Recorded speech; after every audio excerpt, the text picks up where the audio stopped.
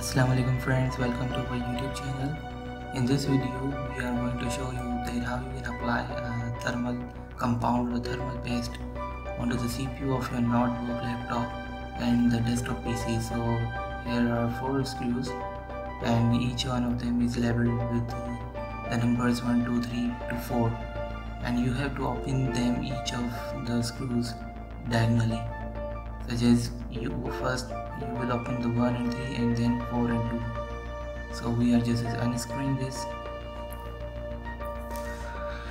After uh, unscrewing uh, you will be able to pull it out the thermal uh, heatsink.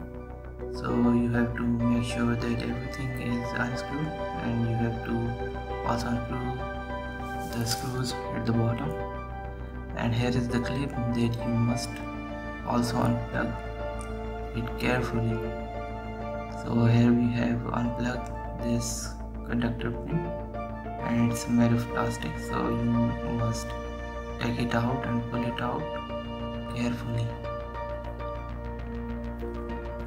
As you can see here we are having a cooling fan which is basically used for cooling purpose of your CPU so we will just pull it out and as you can see there is a uh, it is the component is very dusty including the heat sink.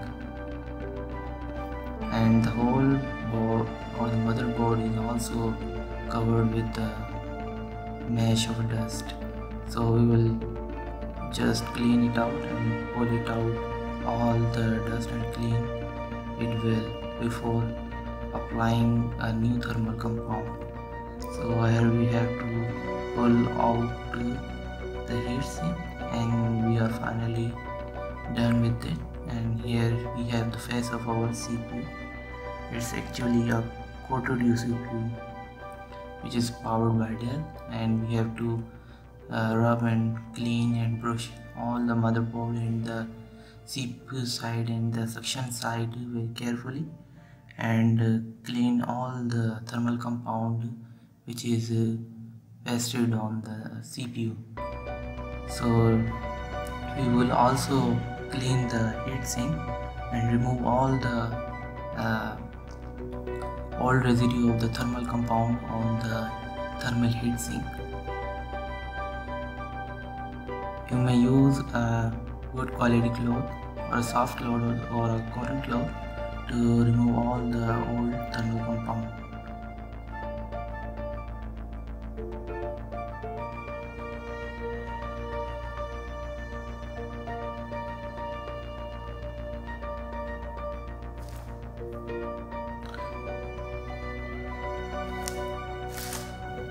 and we would just apply all the thermal compound over the surface of the CPU and after applying uh, we would be able to uh, land our uh, heat sink into the notebook. And you have to do this all the work carefully as you can see in this video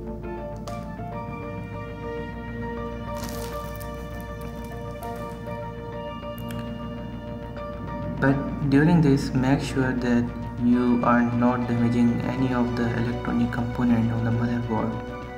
And now you would same and repeatedly diagonally screw and screw all the bolts uh, over the CPU heatsink and after that uh, you would be able to uh, pick your cooling fan and put it on the notebook.